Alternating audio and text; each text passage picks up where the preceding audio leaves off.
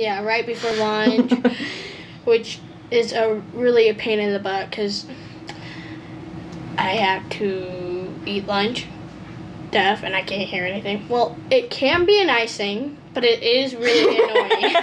that is true. There is some positives to uh, not being able to hear during lunch. Especially when the alar- uh, fire alarm come like goes off, I can just be like, uh, guys, just don't talk to me. Just, just knock them off and just be like, everybody's like plugging their ears. I'm like, la la la la. Hi, I'm Amy, and this is Gabriella. And Gabriella is the world's most sought after babysitter. She has all of the skills. Not only that, she's my niece, and so I get to claim her that way. And she is super, super just patient and loving and kind. Really, just, you. Okay, um, okay. So, we decided that while I was here visiting, we were going to do a YouTube video together. And we talked about it and we decided that the video that we're going to do is we're going to make hot chocolate bombs because hot chocolate bombs sound yummy. And so we have some little chocolate molds and this one's like a little heart one and this one is a just an actual bomb circle one. And we are going to show you how we're going to show you how to make hot chocolate bombs. Are you ready? Yeah. Okay. Um, actually, I don't know how to make hot chocolate bombs. Gabriella knows how to make hot chocolate bombs. She's the one with all the brains right now, and so she's going to tell us how to make hot chocolate bombs. so, what's our first step? Um, first step is to get the stove ready. So you gotta set up a double boiler uh, to melt the chocolate in. And If you don't have a double boiler, can you just melt it in the microwave in a bowl? yes, you can, but it's easier to do double boiler, boil, or um, because it just makes it so the chocolate won't um, It stays hard. it stays liquefied Like, longer. mhm. So you have longer to work with it if you're able to use a double boiler. It is possible to do this by um, chopping up the chocolate and putting it in the microwave. And if you were to do it that way, you need to make sure that you are heating it up for very short periods of time. When you heat up um, and try and melt chocolate in the microwave, the first time that you put it in there, you might do it for like 30 seconds, 45 seconds, maybe even a minute. After that, you have to do it in 10 to 15 second intervals because if you heat it up either too fast or too much, it, it ruins it. it really does. Um, the chocolate that I suggest is almond bark. Um, it's just a really easy melting chocolate, and it's just one of those easy chocolates to use. Yep. Okay, so we are going to see if we can uh, find a double boiler and get that started. Before you melt the chocolate, it melts significantly easier if you chop up these these Well, cubes. cubes, yeah. Um, and so you need to chop these up into smaller pieces in order for this to work. So while Gabriella is working on chopping up our chocolate, I'm going to tell you about how we are going to make a double boiler. Um, a double boiler just means that what we're going to cook will be inside of a dish of some kind. We're going to use this glass bowl because it happens to fit fairly well inside this pot. We'll fill this pot up with some water and enough that it is that the bowl that is inside is immersed in the water an inch or so. And then we heat it up um, on the stove so that the water, the warm water, is what heats up the chocolate inside of your bowl. And the warm, and then when you bring it over to the table and you start working with it, the warm water also keeps it liquefied. And so that's that's what that's what we're using for a double boiler. We don't have a fancy double boiler right now, but we have a couple things that uh, we can make it work. Okay. And your chocolate doesn't have to be super small. It can just be just little pieces. It not super small. And now what we're going to do is we will put the chocolate inside our bowl. Dun, dun, dun, dun. Chocolate in the bowl. Basically, you're gonna turn on your oven and then Turn on uh, your the stove. steam. Hold on. It doesn't have to be touching the bowl uh, because the steam is what uh, makes the chocolate melt. It's not the water, and so that's why like you only like we have a very small um, pan, so we're only using like very little water because it's mostly the steam that's heating the chocolate up.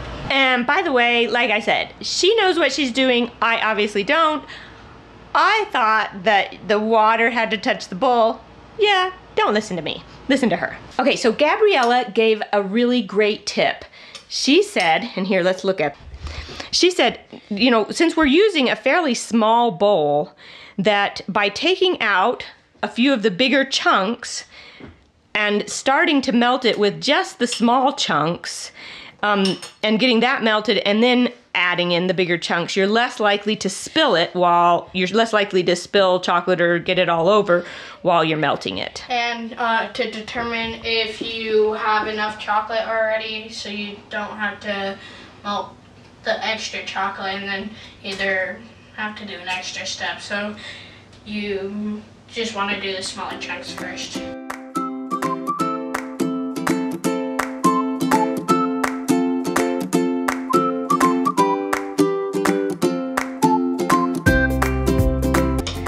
Like I can't walk away in our house because it like he- heats up like really fast.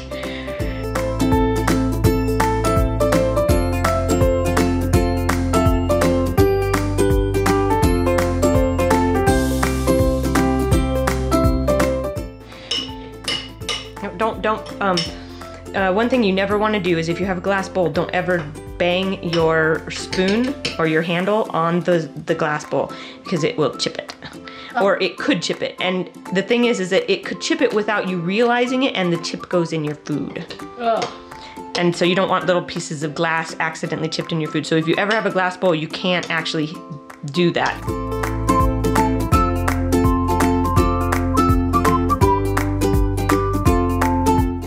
Do we need more? Um, yeah, probably. Just like two more chunks.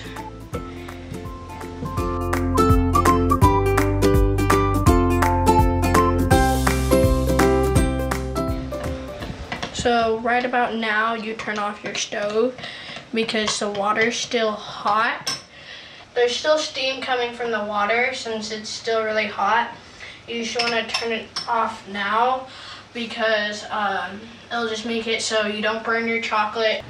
So now you just get a little bit, not that much, and then what I like to do is I like to move the chocolate around and you don't want a thick layer, but you don't want it too thin of a layer.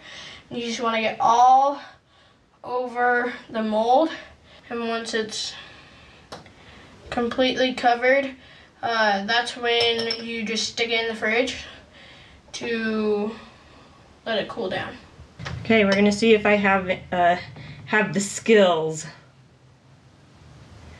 So far, so good. Yeah, I need more chocolate. And a tip that I got from an uncle, um, he said, um, basically what you want to do is you want to get more chocolate on the sides, uh, so the remaining chocolate can flow to the bottom. Uh, so like your sides are not so thin. Okay, we got it. Off to the Fridge. free, fridge. Fridge. Fridge. Or you can do freezer too. It doesn't matter. Now let's do the freezer since there's. Okay.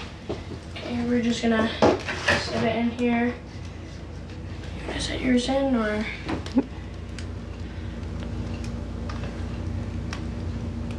Ta-da! We just wait until the chocolate is hard and then once it's hard, we do the next step.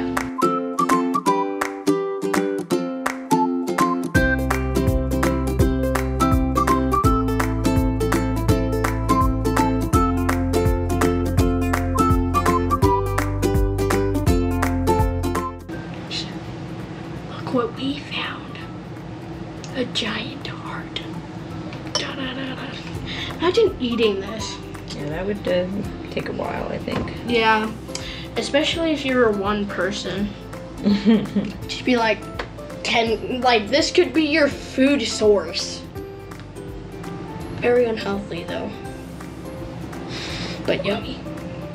Very unhealthy, but yummy. Don't you think it's satisfying? it is. It's kind of interesting to like. I like. I just keep thinking. I just need to turn it around and get the side some more. to the freezer. To the freezer. okay, so you want to make sure your uh, chocolate like sides are not too thin that it'll crack. So mine are pretty thin right now. Um, if that's the case, you just do another layer. If it's uh, just thick, then don't do another layer. And then also like if when you're peeling and you think oh it's uh it's good enough and it cracks, you're not right. Then you're not right.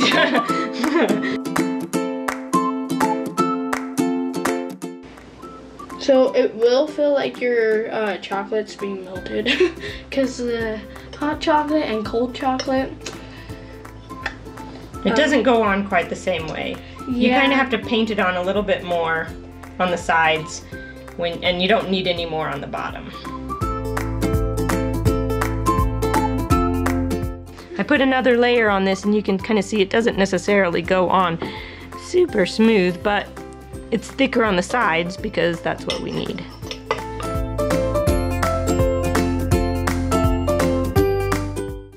These had plenty of time in the freezer, and part of the reason they had plenty of time in the freezer is because um, Gabriella had to run home because uh, her implants, uh, she has cochlear implants, and her implants, the batteries went dead. They they don't last all day. Mhm. Um, how long do you how long do you think the batteries last as a general rule? Um. Well, it depends. Like sometimes it lasts like until I'm about to go to bed. Sometimes it lasts right at like eleven o'clock, or it it really Before lunch. yeah right before lunch, which is a really a pain in the butt because I have to eat lunch deaf and I can't hear anything. Well, it can be a nice thing, but it is really annoying. that is true. There is some positives to uh, not being able to hear during lunch. Especially when the alar- uh, fire alarm come like goes off, I can just be like, uh, guys, just don't talk to me. Just, just knock them off and just be like, everybody's like plugging their ears. I'm like, la la la la. Tell us some some of the challenges that you face because of being deaf. Um, well, one of the challenges is like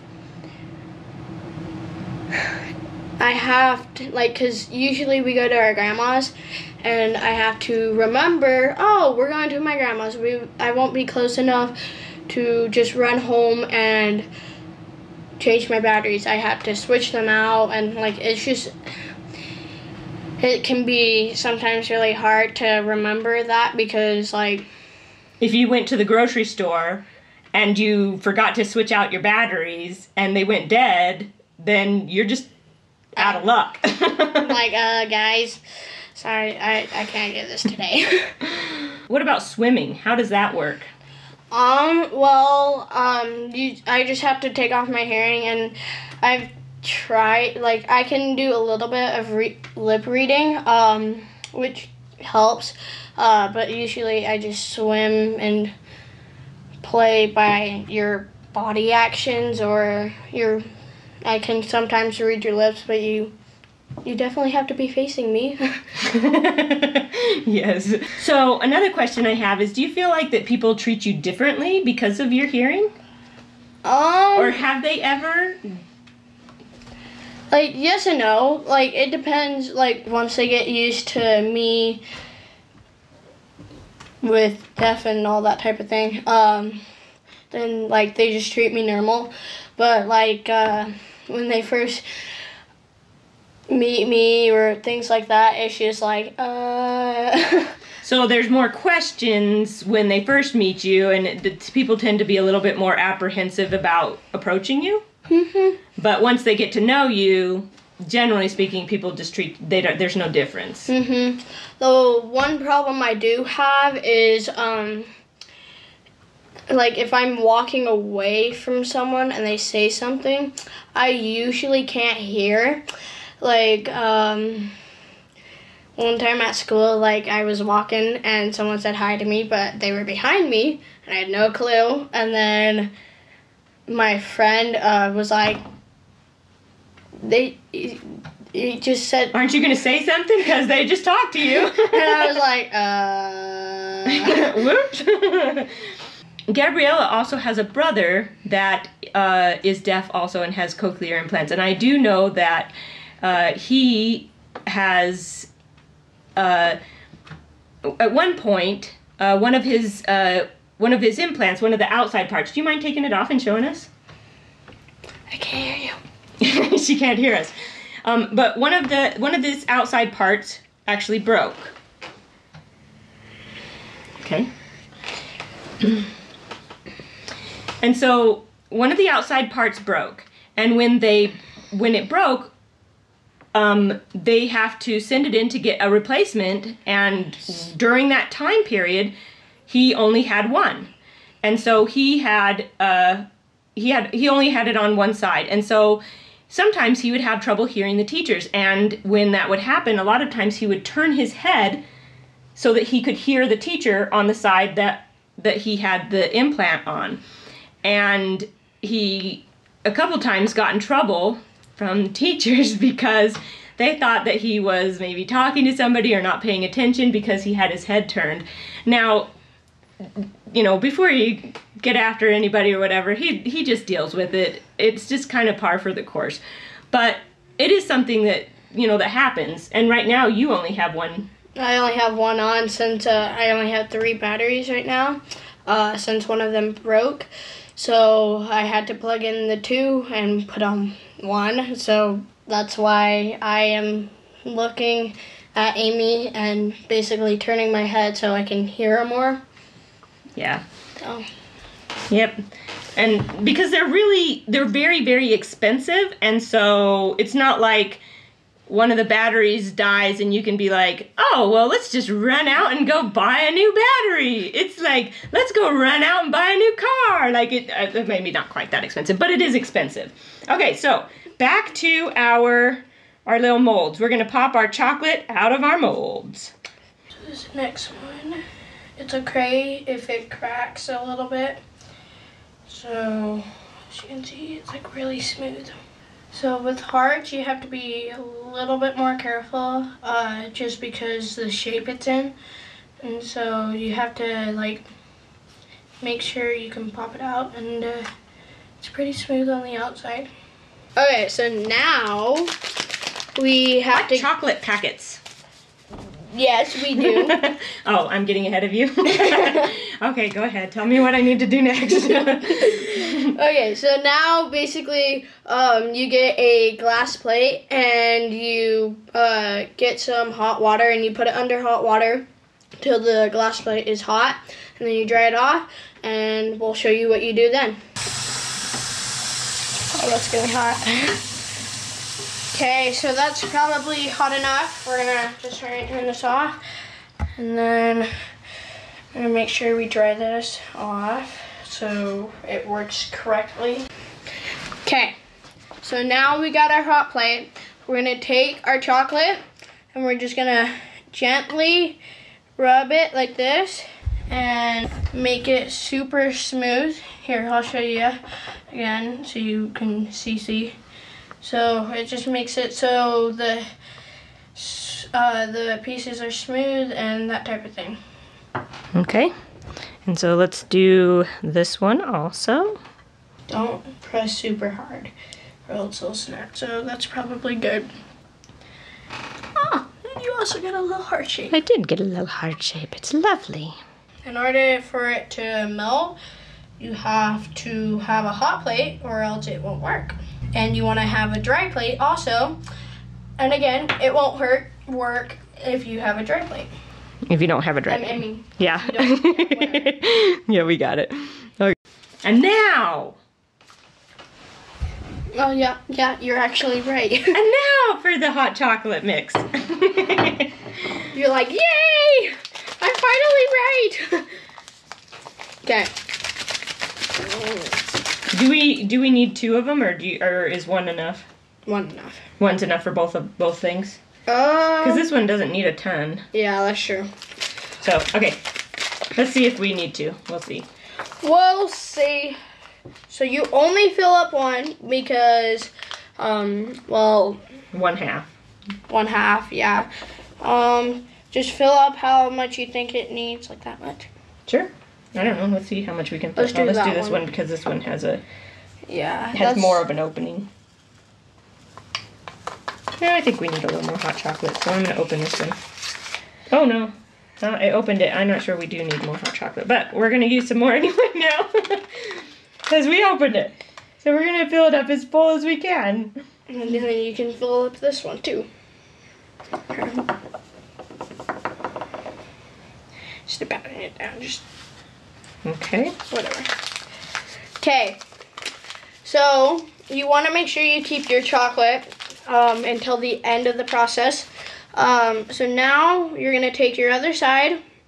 You're gonna try and line it up as well as you can. And once you do that, you use your chocolate that you had melted right here. Which is why having a double boiler is really nice because if you did it in the microwave, then you would need to, of course, remelt the chocolate because it would be cooled off by now. but since it's in a double boiler, our chocolate is still actually runny. Yes. So the one problem that we have is that we have to make sure it's cooled down before we seal it. Bec- like you still want it running, but you don't want it super hot because uh, it'll melt your chocolate ball or your chocolate heart, and you'll have holes all over. So basically, So we just take it out and yeah, um, here, let me put it on this towel. yeah. Okay. So, um, we just washed our hands. Uh, so you want to make sure you do wash your hands before you do this. Um, and basically you scoop just a little bit like this. You wait until it's it until you think it's pretty cold, uh, but still running. And then you're gonna take your hot chocolate bomb. It's it's still hot. Okay, mine's pretty good. So now you're basically gonna take the line and you're gonna wrap it around.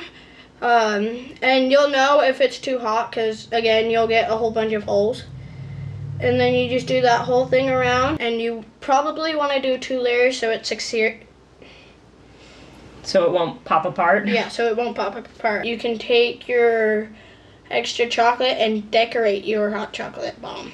So once it dries, uh, you coat it one more time, and then you hurry and put sprinkles or any other decoration um, on the thing. Then, well, there you go. We'll see if we can find any um, sprinkles or decorations in one of these cupboards. Yeah, um, Gabriella is one of six children, and so we opted to go over to my other brother's house um, to record this video so that there was actually a chance that you would be able to hear us. totally. Well, look what we found. Some sprinkles! Okay, and I'm super excited to have found sprinkles because right now, my my uh, paste job of pasting the two pieces together isn't the best. And so my little heart is going to have some lovely, lovely sprinkles around the outside edge. Let me grab a plate. Yeah, I mean, she'll be able to cover up her